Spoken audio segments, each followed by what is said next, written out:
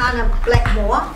Now she's been involved in pesticides and their health effects since 1996 and has participated in development and implementation of Auckland Council's weed management policy since 19, uh, 2010 when it was started.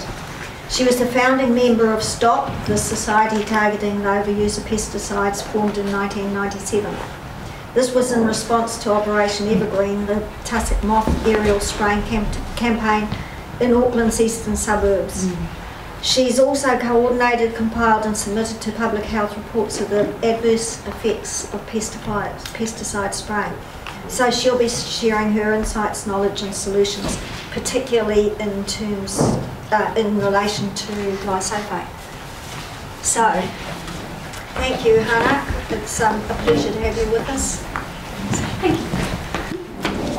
Now, um, Meriel Watts of the Pesticide Action Network was supposed to be here today to talk to you about pesticides.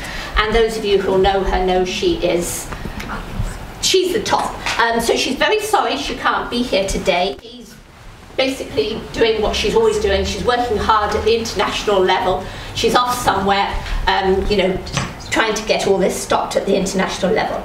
Um, so although I'm not a scientist like Meriel, um, but I've worked with her for 20 years and I would basically like to present a different perspective today on the challenges we face in implementing change and a shift away from our over-dependency on toxic chemicals as a one-size-fits-all solution. Um, I would like to illustrate this, as mentioned earlier, with our experience from two different campaigns that we were involved with and still are, and the warnings, lessons, and signposts to guide us forward. Mm -hmm. But first, my experience is as a community researcher, advocate and supporter of people facing or affected by chemicals or poisons used for pest and basically vegetation control. Um, so you can see me as, as, as, the elderly librarian who can point you to the right shelves, or, as has happened, um, to take in your archives when you've crashed out and have to give it all up for the sake of your health and welfare. And this happens to lots of us. And you should basically see my study, a wall of archive material that I keep. Awesome. Um, in this respect, and this is just for something for everybody, whatever you do in, in what's going to happen from now onwards, do not underestimate the need for physical networks, not just social media, mm. but support, physical support, tea and sympathy, mm-hmm. tea and scones. You really need it. Change is hard work. Mm. Right, so I, I very hurriedly did up four basic truths that we have come across in the last 20 years. That one you can read. This is what we get all the time. It's perfectly safe as long as you follow the label.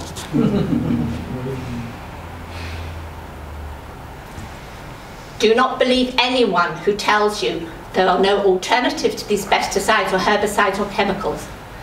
I've missed one, haven't I?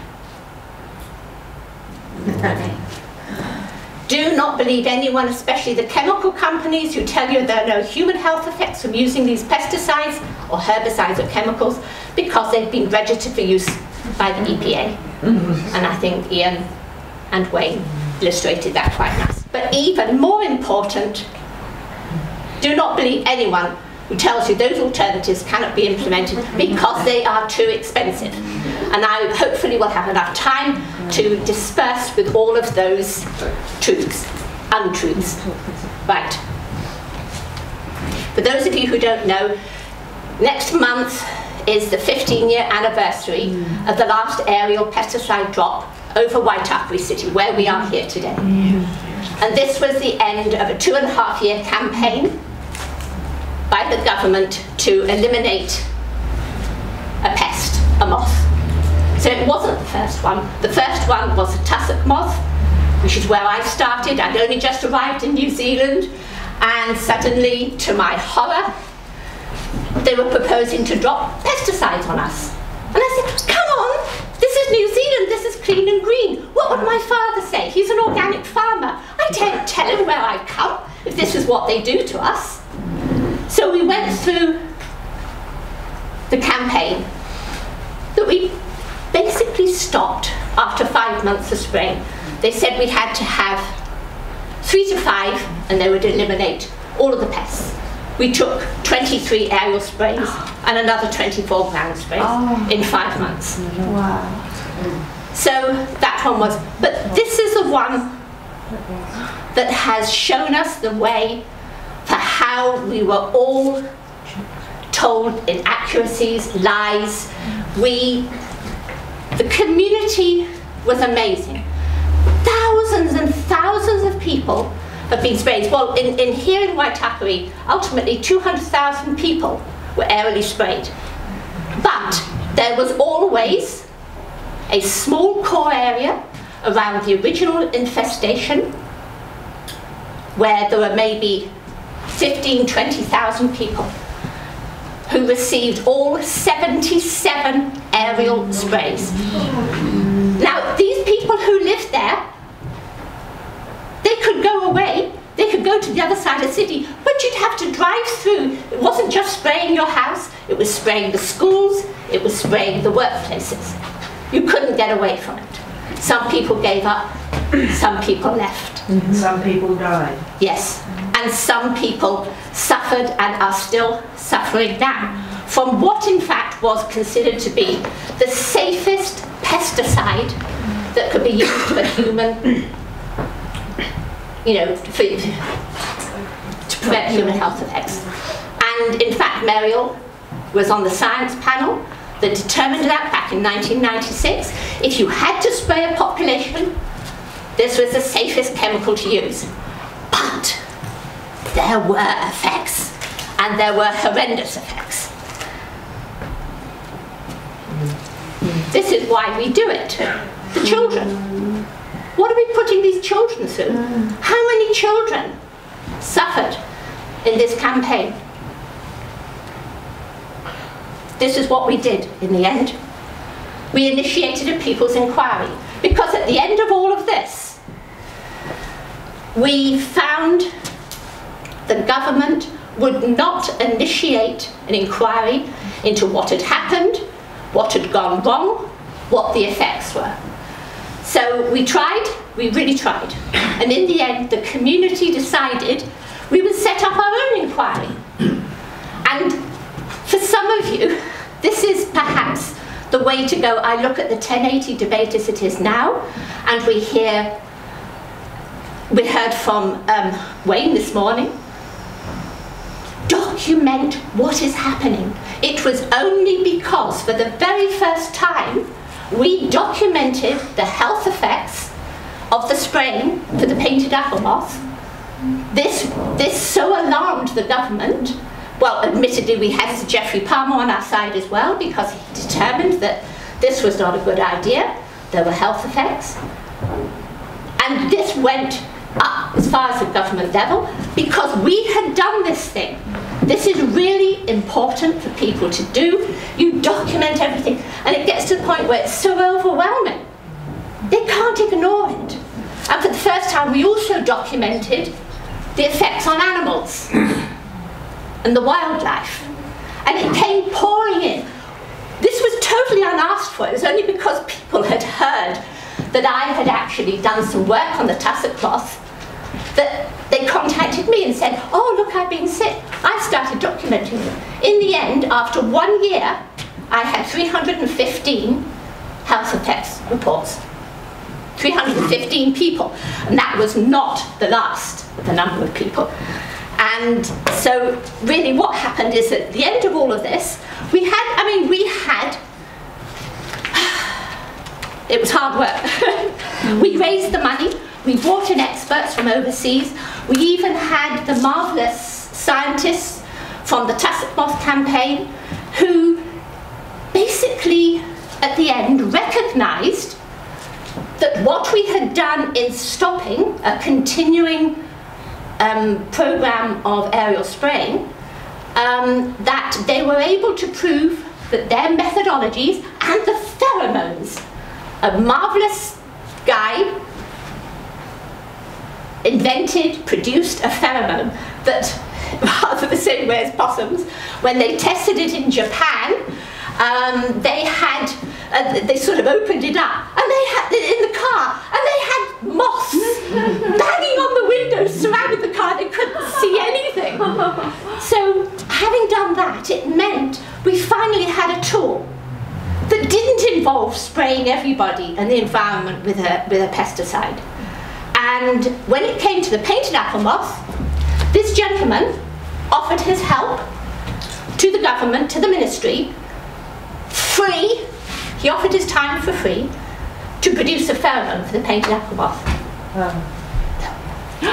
No, no way. He was turned down and they employed somebody else to do it. And what had happened was this problem that scientists who side with the community, who work for the community, who have the community's interests at heart, get sidelined. Mm-hmm. They lose their jobs. Yep. The funding is no longer agreed. They mm-hmm. apply for work, Yep. they don't get it. A lot of stuff went on. Oh, this is actually the launch. Mm. We finally got this people's inquiry underway and they heard evidence. We had a, a five-day hearing. Um, we had Waitakere City Council chambers for free given to us by the mayor and a marvellous support. And it took them another year to produce their report. This was the launch. Let's just look at that. Now, the reason I'm saying that this is such a good thing is that at the end of all of this, there's a big story to tell you here. Um, you can go to the website and you can read the basic bare bones of it. But because of information that's come to hand over the last couple of years, I'm actually doing a review of what happened. Because they've never again sprayed a human population with anything. So we don't know how we managed to achieve this. We had, I think, 29 recommendations came out of the inquiry. The government never implemented any of them. At the same time, a complaint had been laid with the Ombudsman. The Ombudsman conducted a four-year investigation, mm-hmm. came to the same conclusions that our inquiry commissioners came to, and what happened to his recommendations? It is almost unheard of, but the Ombudsman's, they ignored all of his recommendations. No, they would not implement it. We had, we had the Minister of Biosecurity. No, no, no, we won't implement them. So in the end, after, in 2009, they get, he gave up. He said there's nothing he can do when the government refuses to implement the recommendations. But, as I said, the one thing that's happened is that they've never done it again. But, and this is a really important point for, for everybody, and it applies to the 1080. When I started looking at what had happened, because this spraying still goes on in Canada and the United States, I had a call for help. And, you know, what are they going to do? They're just about to be airly sprayed again. And I did some searching. Not a single one of the scientists and doctors' reports that were done, that were commissioned, authoritative, peer reviewed, has ever appeared anywhere in the world. It's like it's disappeared. The whole experience had happened, completely disappeared. But what was even more alarming was that I then found, this was last year, so less than six months previously, there had been, um, what was the word? All right.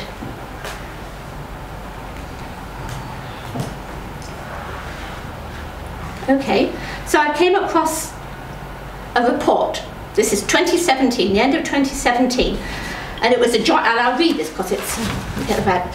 And it was a joint report by the New Zealand Forest Owners Association, Scion, and the Ministry for Primary Industries, was presenting their findings from a delegation to British Columbia, Canada. This was undertaken because of Forest Owners Association concerns that, quote, MPI has lost its social license to apply this organic pesticide, BTK, from ground or air in urban areas in New Zealand. They considered that it was a serious potential risk to primary production. Was to learn how the Canadian authorities had managed to gain and retain this social license to spray. That one of the main factors was the legislative amendment preventing any appeals to the spray based on human health concerns. So uh, this was an alarming, alarming warning to me. You know, we, we'd gone all this time, 13 years, and we thought, oh, this is fine. They've learned their lessons. This is not going to happen again. And suddenly, there's this threat. So this is also, I think, where 1080 and things like this, there comes a point where, yes, they do lose their social license to poison animals in this way. Now, all of this is linked.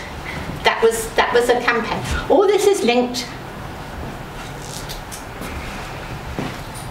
to, this was to do with BTK. This is glyphosate. Now, this is a meeting, nearly three years ago now, at which we were appealing, having presented, it's like Meriel said, when they formed the super city here in Auckland in 2010, we had a situation where all the vegetation control on the roadsides was hived off to this new council-controlled organisation called Auckland Transport. Auckland Transport, as far as they were concerned, they didn't want to bother with all of the legacy non-chemical areas because Auckland has had in places 30 years of non-chemical roadside treatment and this was under threat. And so this was when Mary and myself and others set up uh, the Weed Management Advisory. And we had submitted non-stop, literally non-stop, until we, we Meriel, back in 1997, had written, and this was an amazing document, I think it's nearly 250 pages long, about transitioning from chemicals to non-chemicals. And it was adopted. Through its process and it was adopted. And the whole of Auckland City went non-chemicals. There was only, during the process of presenting this and passing it, there was only one opposition to it. Guess who from? Federated Farmers. what this hell had to do with streets, I don't know. So from, from then until the Super City Advent in 2010, over a million people had been enjoying non-chemical vegetation control. Basically 20 years. No, let's not exaggerate, 15 years. So it was suggested, we immediately submitted to the long-term plan. This was a big new super city. By God, you know, all the work we needed to do. So we submitted that what we should do is adopt Meriel's weed management policy. It had all been done, it was all tested, knew it could work, all the transitioning, how it was done. Oh no, we want to do our own policy. So it was rejected. Years of work Yeah. thrown out. So they decided to make a new policy. And so we went through three years presenting. Everybody was sick to death of us. Every single committee meeting we turned up with evidence about what could be done. Didn't get any. Finally, it was it was ground out until the final committee day, and I was fortunate. I was I was there and I was present. I wasn't actually presenting, but I was present, and this was right down to the ground. And to my amazement, a senior Auckland officer, Auckland Council officer, asked to speak to the committee and said, um, Auckland Transport request that their roadside vegetation control be removed from the weed management policy. and there was a second one. Basically, any health effects had to be empirically proven before they could be considered as, a, as an effective glyphosate. Fortunately, that was rejected. So the policy was adopted. Auckland Transport fought back, and this until it came to this this this this policy here, because I had discovered that there had been a committee set up to implement the policy, and they'd gone through all this this amazing this amazing policy that that basically said uh, chemicals were a method of last resort, and the recommendation was that Auckland Transport, that all roadside vegetation control should be by chemical glyphosate across the region. What? But that doesn't comply with, well, of course, they didn't want to comply with the policy anyway. So it just went backwards and forwards from one committee to another committee until finally we'd had enough. And there were several demonstrations, and yes, and I was a part of them. And I think, Trisha, where are you, Trisha? She was there with me, we were holding the banners up. Yeah, yeah, holding the banners up saying we don't want this. We shut the meeting down and finally the mayor said, all right then, come back to another committee. So we came back to this committee and he said he was going to relook at the policy. What? We were going to have to go back to square one? No way, no way. So, um, through one way and another, we had this amazing meeting on this day, 1st of September, and this is a good. These are the children who came, who actually read their own poem out to the committee. We had five, six, seven presentations, and at the end of it, it was agreed, well, basically, that there would be a moratorium on glyphosate. Ah, hold on a minute, the officer said, you can't do that. You cannot commit an incoming council, this was an election year, to spending all this money. But what they decided to do was they decided to express their support to the incoming council that glyphosate should be removed from the streets, that we should move to uh, non-chemical across the city. That's three years ago. Mm. Where are we now? Same place. Nowhere. We're still here. We're still stuck. Doesn't matter how many experts we bring before the council.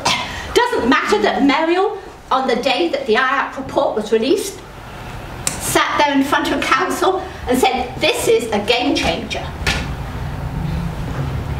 Basically, what we were told was, well, no, we're terribly sorry, but um, the EPA has, New Zealand EPA has approved it and therefore we can't go against the EPA. I'm telling you all this because this is, this is, this is what you're up against. Um, so that's where we are today. Now this is the bad. This is It's a rural area. We've been using non-chemical methodologies in Waiheke for 30 years perfectly safely, perfectly economically. What's the matter with everybody who says you can't do this?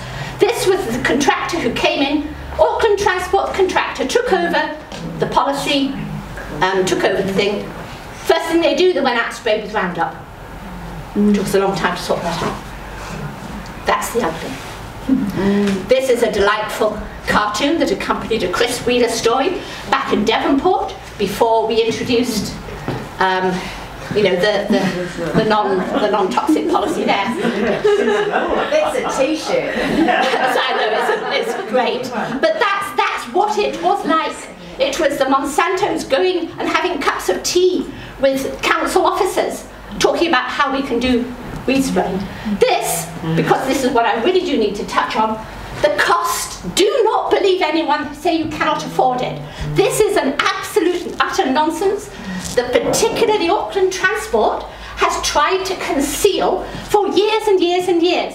This is a, this is a really poor graph, there's no, no what you call them. But anyway, this This is a comparison of the cost. Glyphosate, fatty acids, hot water, steam. Forget about the, the tons of CO, the cost. 700% more expensive than glyphosate. What rubbish! And yet that was being put out everywhere. It wasn't until years later under OIA that I got the answer. Look at this. This is the costing variations from December 91 to 2015. And that's the increased cost of doing non-chemical over glyphosate. Oh look, 22%, 1%, 47, 12, 2, 8, until you get down to 2012. This is Auckland Transport. this is their thing, and from then onwards. But they have tried to keep it all quiet. And the fact of the matter is, is that, that this is just, it is not true. Now, if you want to read all about this and the things that have gone on, oh, please read this. If you, if you, if you go online to the Weed Management Advisory, you can download a copy of this, and it just details in excruciating terms the exact.